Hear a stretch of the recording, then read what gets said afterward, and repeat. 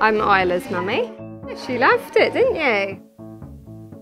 It's very sort of child focused. Um, and yeah, there's sort of it's to each child's individual needs, so that's good as well.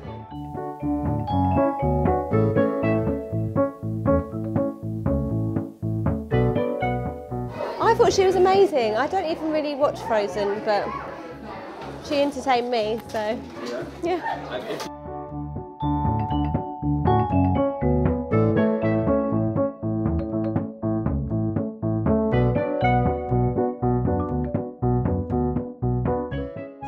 totally recommend Dinky Parties to friends.